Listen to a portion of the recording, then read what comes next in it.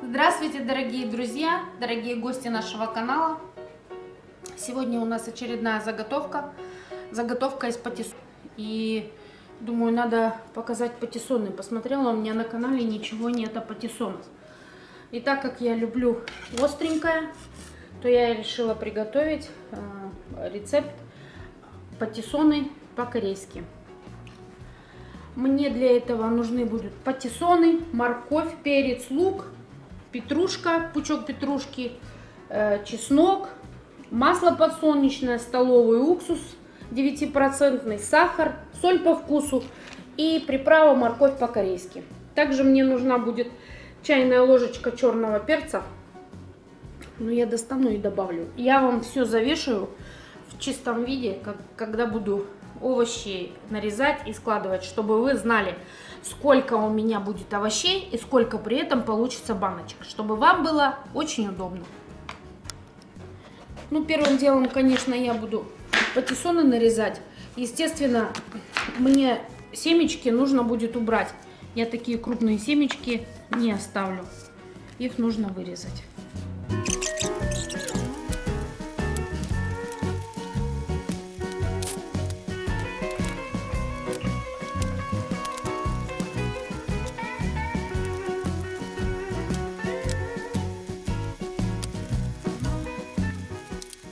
Очистила патиссоны, если они у вас не молодые. Вот у меня тут был этот э, старенький такой. Я с него срезала кожу.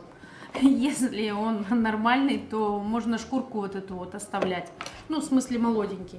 Теперь нам их нужно порезать. Порезать, ну, постараться как соломочкой, что ли, покрошить.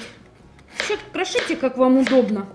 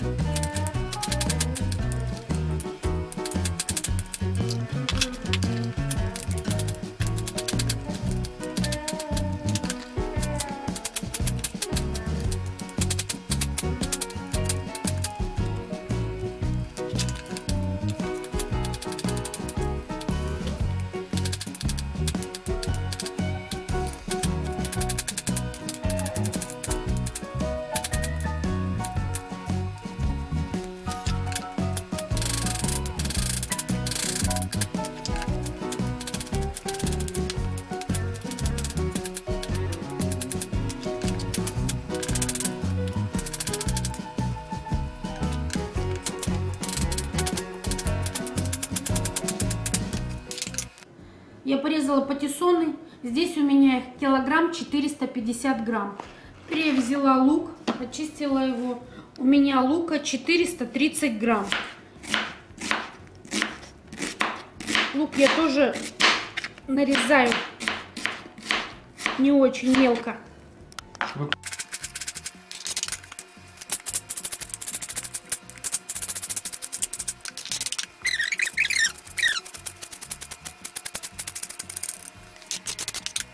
У меня 430 грамм моркови.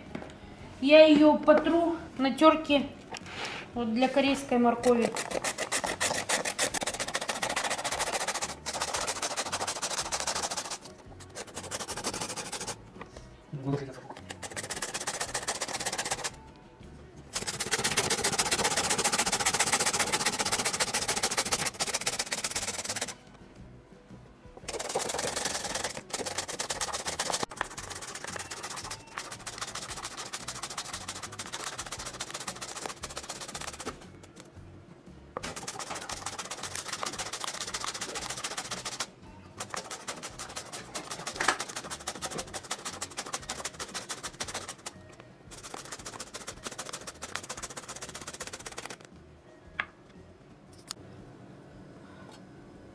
У меня 90 грамм чеснока.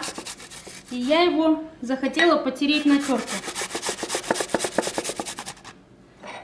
Можете подавить через чеснокодавку.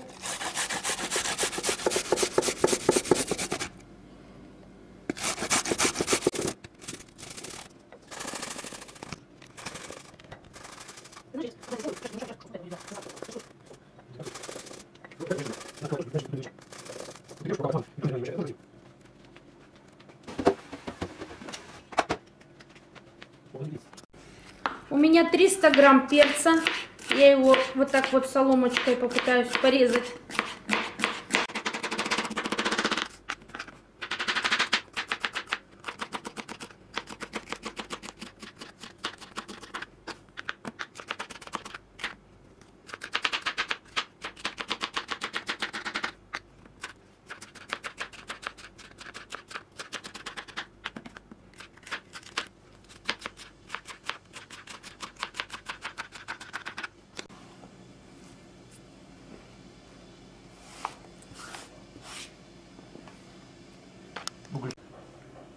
Меня 70 миллилитров столового уксуса.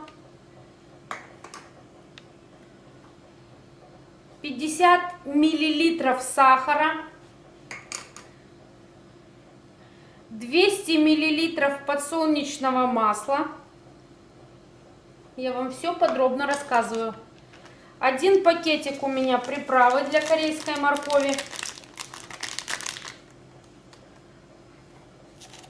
Я насыпаю сюда полную столовую ложку сахара с гор... Ой, соли, простите, с горкой.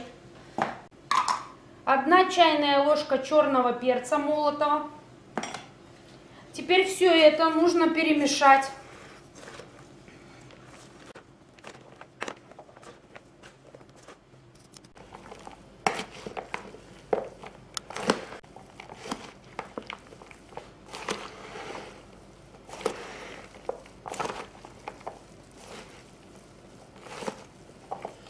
Девочки, для вас взяла тушмовку, чтобы показать, как тут все красиво. Ну, не могу я это делать. Мне нравится руками. Ну, это, в конце концов, моя чашка. Вы мешайте ложкой, если вы привыкли.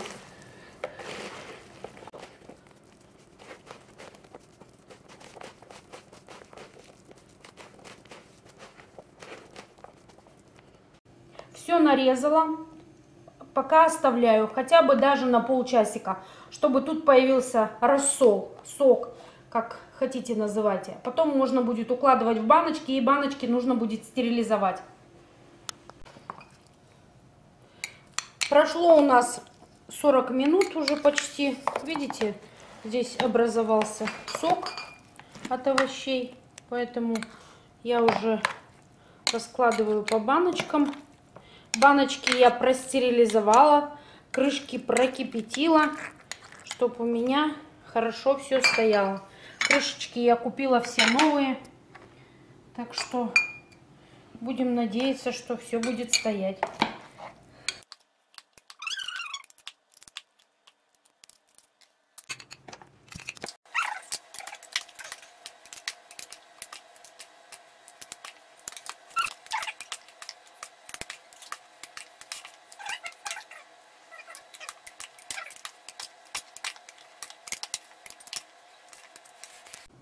Все разложила по баночкам, рассказала в видео все подробно, как я готовила. Кто опытная хозяйка, то пропускайте, не смотрите, как я режу, как я что-то делаю, как я насыпаю. Смотрите в конце, как я уже приготовила, или рецепт посмотрите, и все. И можете видео не смотреть. А кому это интересно, смотрите, пожалуйста. Пишите комментарии, отзывы пишите, мне это очень интересно. Теперь крышечками просто прикрываем, не закручиваем и ставим стерилизовать.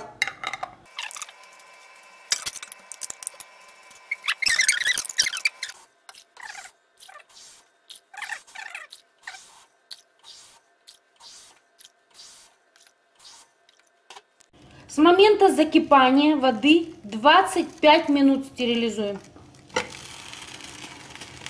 Ну что, девочки, время прошло.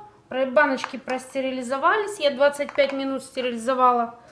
И теперь я их укрываю до полного остывания. Мне остается вам пожелать удачных, вкусных заготовок без бомбажа. И отличнейшего настроения, чтобы у вас были силы заготавливать, заготовить побольше заготовок вкусняшек на зиму. Не забывайте смотреть на нашем канале плейлист «Заготовки на зиму». Подписывайтесь на наш канал, ставьте лайки и пишите комментарии. Всем пока-пока!